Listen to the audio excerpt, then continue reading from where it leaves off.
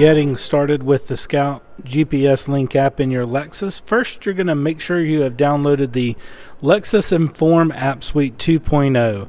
So go to your Play Store or App Store, download that, and make sure it's on your phone. Once you get into that, you're just going to dive into the settings and make sure that your location is turned on. Next thing you're going to do is go to Scout GPS link in your App Store or Play Store and make sure that is downloaded. And once you've done that, you'll be heading straight to the car. Once you're inside your vehicle, you will notice that you have one of these two types of control systems for your menu.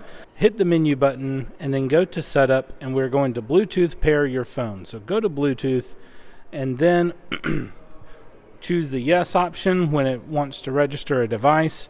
On your phone, you're going to find the name of your vehicle. This could say Lexus NX, Lexus RX, Lexus RC, whichever the type your vehicle is. And then you're going to wait for the computer to connect. And then you're going to make sure you allow the Toyota Motor Corporation to access your phone.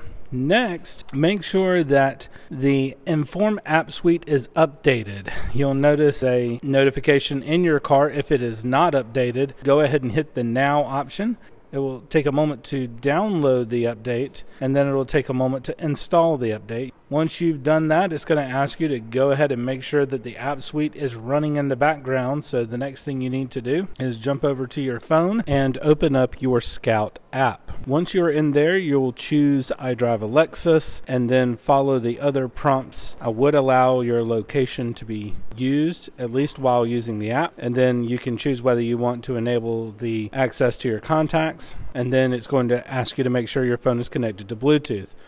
Once you get this notification, you are free and clear to go back to the car menu and then select the apps button. Select on the Scout option and you'll notice that a little notification comes up telling you that it's going to use your phone data. After you click on that, you'll notice you have access to the Scout app. Right now, this version of Scout GPS Link is turn by turn directions only. However, if you have a moving maps enabled car, you can then plug in your USB cable into the car and then plug it into your phone, and you'll be able to enjoy something called enhanced mode that gives the car moving maps. Once you've got your USB cable connected to the car and your phone, you'll notice that it will say Welcome to Scout GPS Link, and you kind of have to go through these particular prompts, and then you'll be able to enjoy the moving maps function on your car.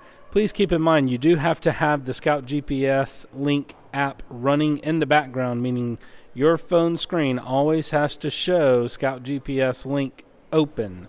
If you would like to receive more information about Scout GPS Link, the moving maps feature, or any technological feature on your Lexus, please feel free to stop by Jim Hudson Lexus in Augusta, or you can visit our website at www.augustalexus.com.